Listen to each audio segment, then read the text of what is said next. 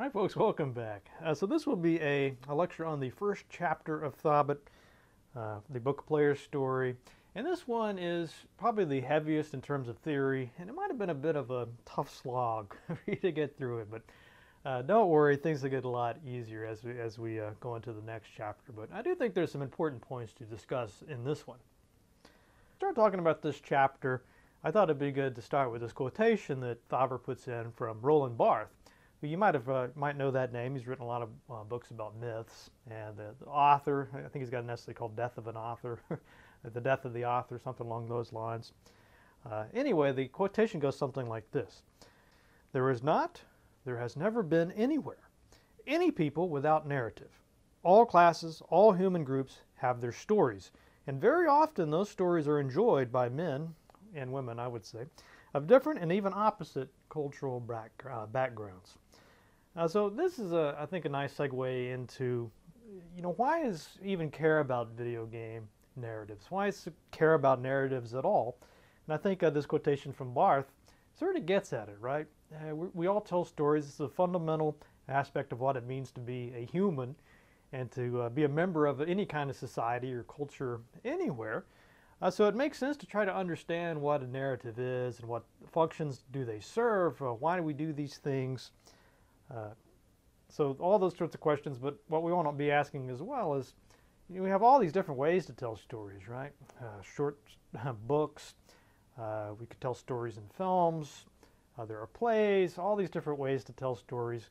Is there anything special or unique about the video game as a storytelling device, as a, a narrative tool? And that's the sort of thing I want to be thinking about uh, as we go through the course.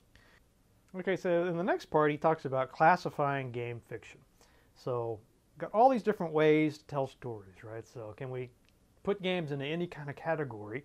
He says yes. Uh, here on, I don't know what page this is on, but he says game fiction is a type of performed narrative.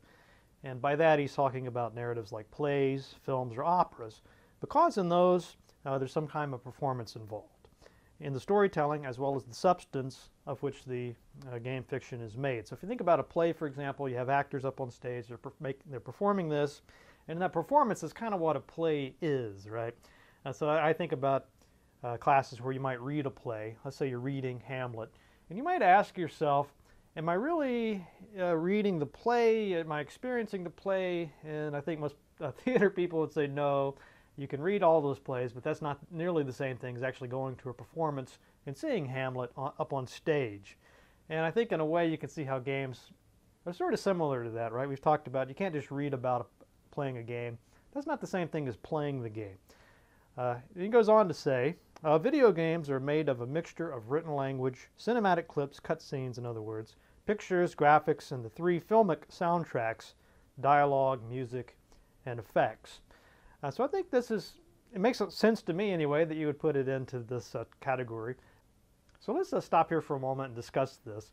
So think about stage plays, films, or operas, uh, whichever one you want, and think about the ways it's similar to playing a video game, but also some ways that it's not.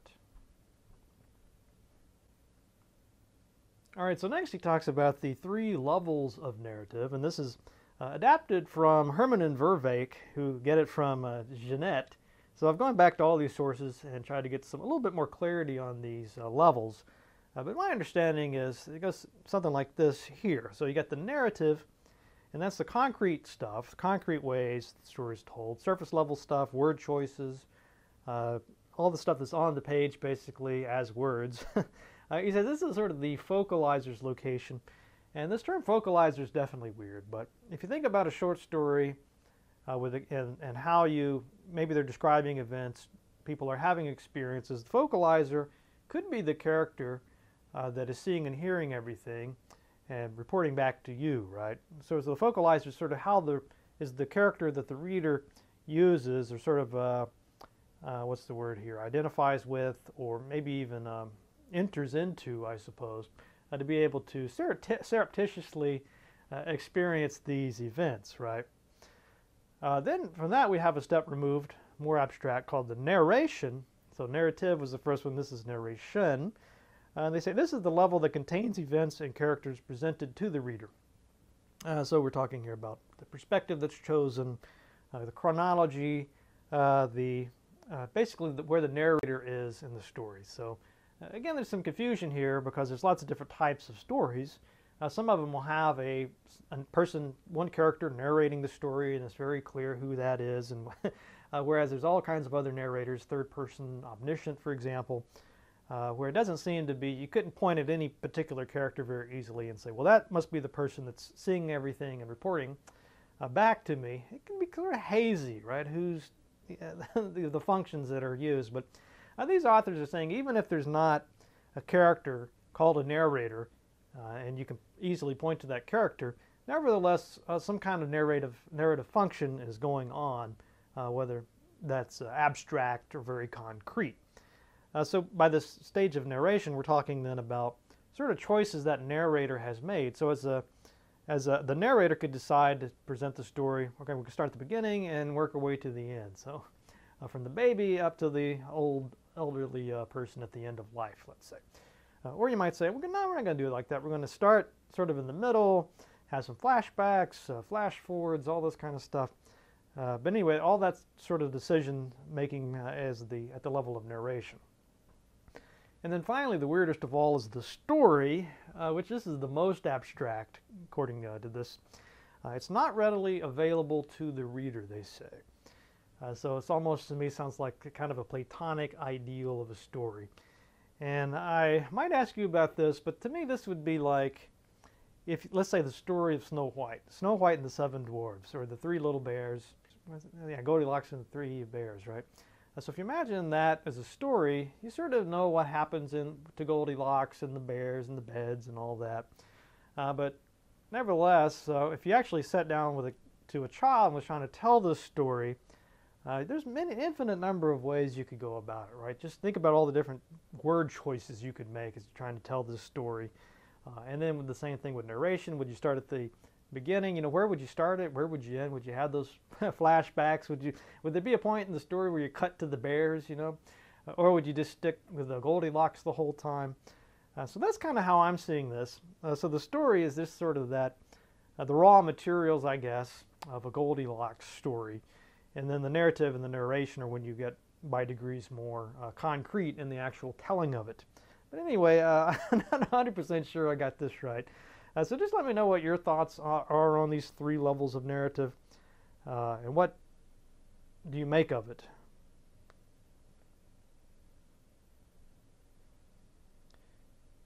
All right, so I said we talk a little bit more about this idea of a focalizer and a narrator. Uh, so here on this page, I think we get a little bit more clarity. So the focalizer is who is seeing, who is hearing, who is experiencing the events uh, in that story, right? That's again at the narrative level. Uh, and then uh, we have a narrator who is speaking or describing things to the reader, uh, the narrator being at the narration level. And they say uh, a couple things here I think will clear this up a little bit. So with the narrator, they're saying in texts, so a short story, uh, the narrator is often simply imagined to exist, anthropomorphized. So as I said before, some stories will have a character in there that says, hey, I'm the narrator, and I, you know, this is my story, and here's what happened. Uh, whereas other stories might have a different kind of narrator, where it's almost like the author is the one that's describing these things, not the not a character in the story, but the author. Uh, but in any case, uh, we tend to anthropomorphize this person, uh, which basically means we, we think of this as a person. It's kind of weird to try to think about it as something else, uh, so that's just a tendency. Uh, whereas in a game, he says this narrator is a real human being. In other words, it's, it's the player as well as uh, we'll get into in a moment the game composition device. So focalizers and narrators are pretty strange concepts and it's, it's, it's, complex, which is why there are whole books, whole courses you could take just on narrative. But I think that's the basic idea. So now we need to think about more about the video game and who narrates a video game. Uh, so he makes the point here that when you're playing a game like Bioshock, uh, some parts are controlled by the player, but not all. And I really like the moment where he says that you can just take your hands off the controller, you can put down the mouse and keyboard, and there's still stuff going on. Uh, so what is that? How do we talk about this? And he's got some terminology that I think is very helpful. Uh, but before we go there, we need to talk more about film.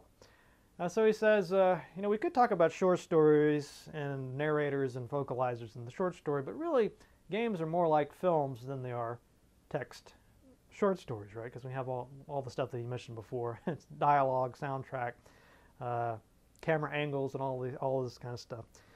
And he used, he's talking about a guy named John, or Jean, who has come up with the idea of a cinematic narrator, uh, which they call the FCD, FCD, Filmic Composition device, the cinematic narrator, decision-making agency responsible for the showing. And uh, let me just read these quotes and then we'll talk a little bit about what, what this means. So, according to Jean, uh, the quote, theoretical agency behind a film's organization and arrangement assumed to be guided by maxims of giving efficient, sufficient, and relevant information. So, giving efficient, sufficient, and relevant information. Uh, the FCD selects what it needs from various sources of information and arranges, edits, and composes this information for telling a filmic narrative. A film shows us what the FCD has arranged for us to see. So think about next last time you watched a movie or a television show, and if you ever tried to make your own videos and shows, you realize you have to decide at any given moment uh, what's going to be on the screen, right? Uh, and how are you going to tell this story uh, what, what, what kind of sound effects will there be? Uh, what kind of music is, is there going to be? Why are you showing all this stuff? And if you go, if you look at uh, shows, you might wonder sometimes, well, why are they showing me the outside of this building? And so I was just watching uh, an episode of Bones actually, and I was, I, I had been uh, sort of thinking about these things, and I noticed one of the shots they showed you this, the front of the Natural History Museum, and then they kind of shows us seemed like you're kind of walking around the gate and the gate is open and you sort of wonder uh, why are they showing me this? And of course if you study film a little bit you know that's sort of the establishing shot. Uh, really these these actors are on a soundstage somewhere right? And not actually in this natural history muse uh, museum but by showing that uh, outside of it and then showing maybe a little bit of the inside hey, they sort of give you the idea that where they are. They're inside this museum and that has a significance right so all those kinds of decisions, uh, Jean is calling the FCD or filmic composition device. It's a little weirder than you might have realized if you really next time you watch next time you watch a movie or show, really pay attention to what they're showing you at any particular moment. I think you realize it's it's pretty weird sometimes, but uh, it makes sense to us because we've seen so many films and shows that a lot of the stuff is just almost uh, ingrained within us. We no longer ask, well, why are they showing that? Uh, why are they showing this? Well, why this and not that? All right, so this is needs to be adapted into something to, for uh, games because games are not films. Uh, so for that purpose, uh, wants to talk about the GCD, uh, Game Composition Device. and for some reason, he doesn't seem to like this term. I don't get it. It makes sense to me. So he's saying, uh, sort of like the FCD, the GCD is a fictional world creating agency that controls what the player does not. Other existence, characters and settings, I would call those NPCs, non-player characters, uh, events, actions and happenings, and the rules of a presentation. Uh, in other words, the, I guess everything that the player doesn't directly control.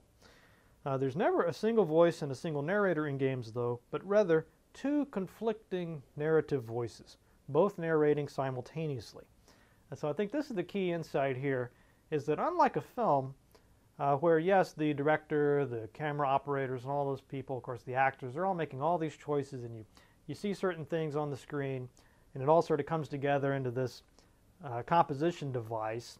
Uh, with the GCD, though, they can never quite get there because you always have that co-narrator, namely you, uh, the person playing the game, right? So uh, you are in fact co-narrating uh, with this game composition device. So all of these other elements that he talks about here. So next he talks a little bit about tense in games, and I think this is an important thing to uh, think about in terms of game narrative. So we have uh, present tense as it's used in printed fiction, and you've probably read lots of uh, stories, I think about horror stories tend to, to use this a lot, uh, where they're using present tense.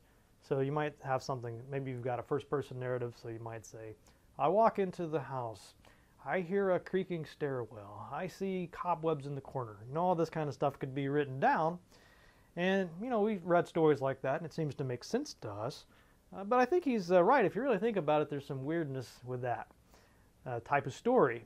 uh, for one thing, am I saying these things at the same time I'm doing them? Uh, so, in other words, if the narration were really to coincide with the action, the narrator would be talking and experiencing at the same time. Uh, so, that's what what's happening there. You know, is this am I in the house and I'm telling you that I'm in the house, or am I just walking into the house? Am I saying I'm walking into the house? so there's just, we kind of understand, we, we can read these stories, but nevertheless, that is kind of a weird thing if you think about it. Uh, secondly, uh, it'd be impossible for the narrator to know the end of the story. So if this were really present tense and I'm really there and I'm just telling you what's going on as it's happening, uh, I don't know what's going to happen at the end of this thing, right? Because it's, it's happening. Uh, whereas in reality, of course, we know I do because I wrote the story. it's, it's done. It's sort of an artifact now. Uh, so again, that's sort of a weird thing. Now it says with games, though, we can do these things that we can only do, sort of, we only sort of imagine. It's kind of weirdly maybe. Uh, with a game, though, it can be literal, uh, literally happening. So in other words, think about the present tense. If you play Bioshock, this stuff is really going on as you're playing it, right? It's not your I think you're not telling about it later. You know you're actually there playing the game. And second, you don't know how it's going to end. So whereas the author knows the ending of the story, uh, I guess it could be stream of consciousness, but let's uh, put, not think about that for now.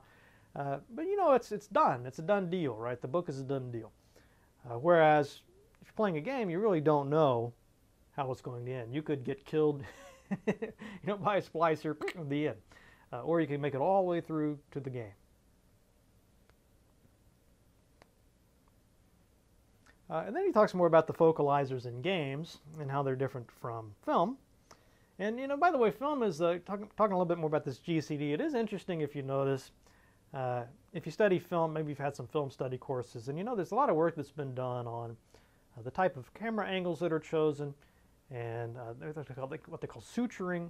So the idea that you can sort of maintain a, uh, I guess, the immersion of watching this film, even though they're switching between different characters. So maybe you've got a Bones talking one moment and she's saying things and she's still talking but they switch to Booth so you can see Booth's reaction uh, to what she's saying. And there's all kinds of stuff that takes place like that as you're watching a film. Uh, but nevertheless, you're sort of able to watch it anyway and you kind of wonder who's the focalizer. Uh, sometimes it seems like you're like a little bug on the wall uh, watching all this stuff. Other times though it seems like you're sort of temporarily inside the, a character's mind. Uh, but anyway, it's weird enough in films. So now he's talking about, though, in games. And again, in some ways, it's easier to understand how it works in a game than it is a film. And his example, I think, is really interesting. Uh, so the, the film Gran Torino with Clint Eastwood. Uh, it's, it's funny, was, it, the movie was just on the other day, and I was uh, rewatching it. And I just read this, so it was, was kind of weird that, oh. Uh, anyway, so imagine that character Walt in this story. He's kind of a bigoted guy, right? Uh, so if you had a game called Gran Torino, well, the game, what a weird concept. But anyway, if you had this game and you're playing as Walt, uh, then you let's say they said, okay, press the A button or the W button or whatever, and you can make him say something uh, derogatory, some kind of bigoted statement. Now, would you feel compelled just to keep pressing it and try to be as much like Walt in the film as possible? Or would you say, you know, I didn't, I, I would never do that. You know, I would never make a comment like that, so I'm just never going to press the button. Uh, so this kind of gets us into this point, right? Can you separate your own values and interests when playing uh, a game like this? And he seems to think you can't. Uh, that there's always you're always going to have your own values and uh, your own interests, and they're not going to be the same as any character from a film, no matter how hard you try to be just like Walt. So anyway, we'll bracket that for a moment. Uh, now we want to delve a little bit deeper into this distinction between a player and a reader. And so always our own narrative. So uh, we're going to get into the, the idea that, again, the book is a done deal.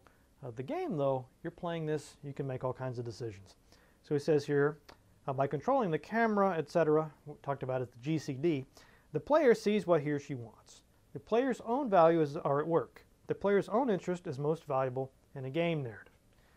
Uh, so thinking about this camera again, with not all games have this option, of course, but a first-person game, you're basically like the camera. You're looking around.